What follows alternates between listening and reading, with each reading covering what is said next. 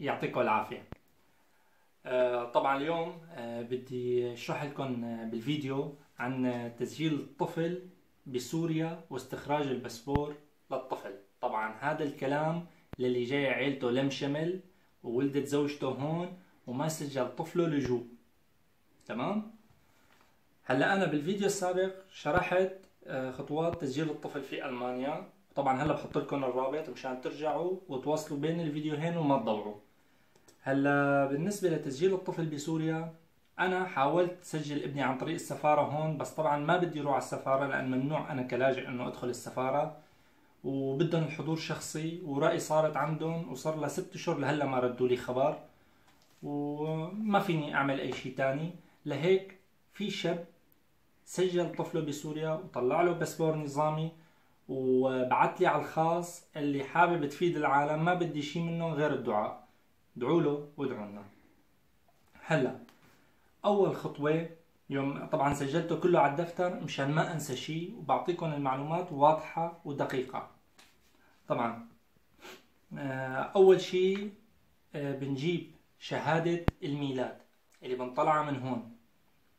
في شهادة ميلاد بتاخدها من آه، الشتاندس أنت اللي هي شهادة بسموها مثل شهادة دولية. بتسجل طفلك بأي بلد خلقان.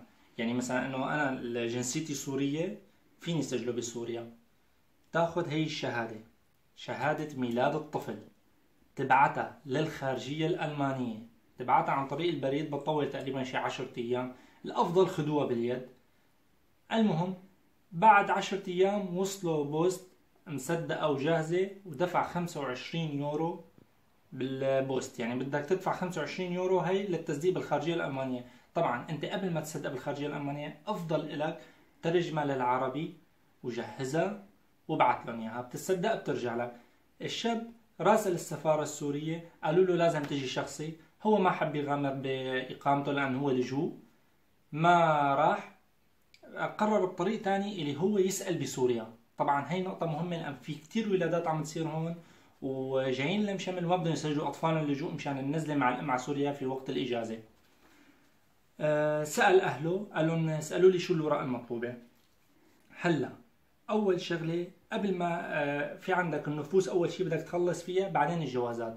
بالنسبة للنفوس قبل ما تروح للنفوس شهادة الميلاد اللي ترجمت وتصدقت من الخارجية الألمانية بتبعتها لسوريا. هنيك بياخدوها للمختار بيختموها عند المختار بعدين بيتوجه للنفوس.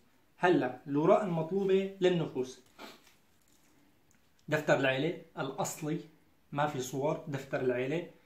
أه صور شخصية للمولود شهادة الميلاد اللي مترجمة ومصدقة من الخارجية الألمانية ومن المختار. صور جوازات الأب والأم مع الاوزفايزات هلأ هيك خلصنا من الأوراق المطلوبة للنفوس وهلأ كمان بسجل لكم إياها ضمن الفيديو. هلأ بعد ثلاثة أيام من أخذ هالأوراق المطلوبة للنفوس تسجل الطفل بالنفوس وتسجل على دفتر العيلة وطلع له بيان عائلي وإخراج قيد فردي وشهادة ميلاد. هي انتهينا منها. هيك بنكون سجلنا الطفل بالنفوس. هلا بدنا نسجله آه مو بدنا نسجله عفوا بدنا نطلع له باسبور كيف؟ نتوجه للهجرة والجوازات. بناخذ الأوراق المطلوبة التالية. هلا سجلوا عنكم. الأوراق المطلوبة للهجرة والجوازات.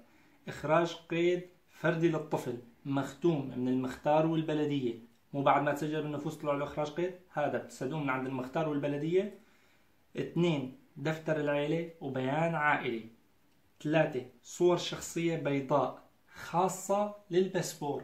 هي أهم شيء يعني بتصور من هون يوم تبعتوا الصور صور للباسبور. أربعة إيصال دفع من البنك أو المالية 300 دولار. أنتوا قبل ما تروحوا للهجرة والجوازات بتروحوا للمالية بتدفعوا 300 دولار هذا بسموه رسم جواز سفر لمغترب. طبعا أهم شيء بيكون آه، أحد ذوي الطفل من أقارب من الدرجة الأولى هو اللي عم يشتغل بهالقصة أو يكون معه وكالة. تمام؟ بعد ما طلعنا هالوراق بنتوجه للهجرة والجنازة والجوازات.